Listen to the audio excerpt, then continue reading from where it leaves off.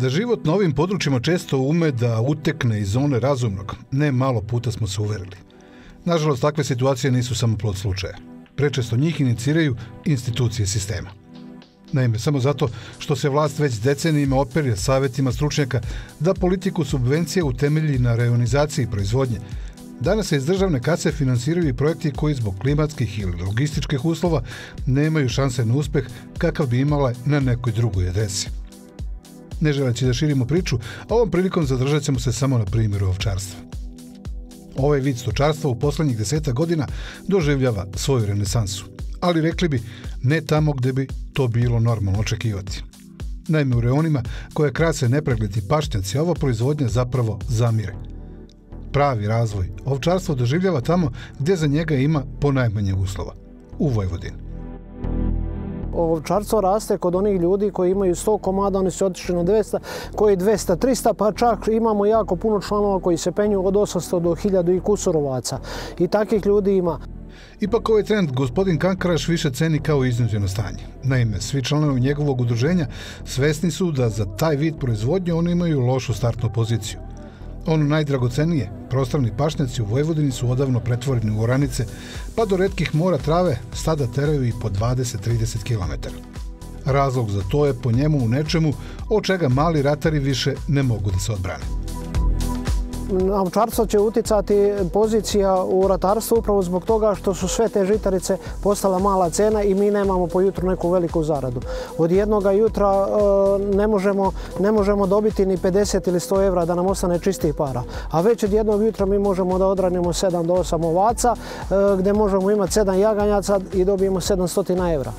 To će biti stimulans za dalje razvoj s tim e, što je država odredila ove cene 7000 po ovci, to je jako dobro i zbog toga ljudi jako puno njih se odlučuje i da drži i proširuje i proširuje ovaj svoja stada. U nedostatku pašnjaka, vojvođanski ovčari prinuđeni su da mnogo više ulažu u moderne farmske tehnike. To je uočljivo pogotovo u oblasti pripreme obroka, gdje su iskreno uključili neke jeftine industrijske otpadke poput repinog rezanca. Oni su za nepune dve decenije gotovo sasvim izmenili rasni sastav stada, a suočeni sa problemom genetike napuštaju tehniku prirodnog pripusta i ovce sve češće veštačke osamenjavaju. Kao što i svi znaju ovčari, veliki je problem kupiti dobrog ovna. Kod nas se pre nekoliko godina zatvorio ciklus što se tiče Ile Fransa i što se tiče e, Bergama, što se tiče Viteberga i Safoka. Mi sad sa ovim načinom veštačke oplodnje donosimo i novu krv kod nas u Srbiji. I mislim da se to jako dobro pokazalo. Evo na nekoliko mesta, redko koja ovca nam je ojagnila jedno jagnje, uvijek imamo dva, tri, pa evo do četiri jagnjeta iako je u prethodnom periodu nemalo urađeno. Ostvarenje sna vojvozanskim ovčarima nije još na dohvat ruke. A o čemu oni maštaju? Ja bih volio da se napravi neka asocijacija u okviru Vojvodine, u okviru Srbije, da bude jedna krovna organizacija koja bi kontrolisala sva ova ostala udruženja. Naravno, e, sa velikim brojem komada mi bi su mogli postići i neku veću cenu. Moja je želja da se napravi neke prerađivački kapaciteti u vidu prerade vune, u vidu neke klanice e, koja bi prerađivala samo ovčije i kozije proizvode. U pitanju su i te hladnjače o kojima smo pričali, da veći broj tih jaganjaca zakoljemo, pa kad bude dobra cena da ih prodamo.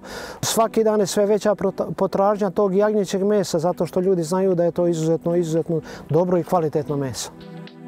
Planovi, rekli bi, realni, pogotovo kada imamo u vidu iskustva ovčara u zemljama Evropske unije. Ipak, bit će to krupan zalogaj, pogotovo kada se u obzir uzmu odnos nauke i institucije sistema prema ovčarskoj proizvodnji u Srbiji, ali nažalost i samih ovčara. Verujte mi, što se tiče naših ovčara, i oni su skeptici u tome, a pogotovo ljudi koji su odgovorni, koji treba da nas vode, oni čak što više ne žele ni da kontaktiraju sa našim udruženjima, redak je slučaj da nas neko pozove. Što se ostalih tiče tih profesora, pa evo ja ih prozivam, neka ne sede tamo na fakultetima, nego neka dođu među nas, da popričaju sa nama, da vide kakve mi imamo lepe ideje, e, mogli bi napraviti neki prosperitet što se tiče samog ovčarstva i kozarstva, da budemo možda u ovom delu, u ovom delu Balkana e, da budemo vodeći ljudi. Zahvaljujući spremnosti da se udružuju, uprko svemu vojvođanski ovčari su napravili značajne iskorake. Narasla su im stada.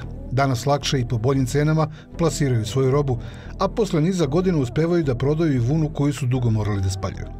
Uz dužno priznanje za sve što su postigli, kada govorimo o potencijalima srpskog ovčarstva, oni su ipak na nekom drugom mestu.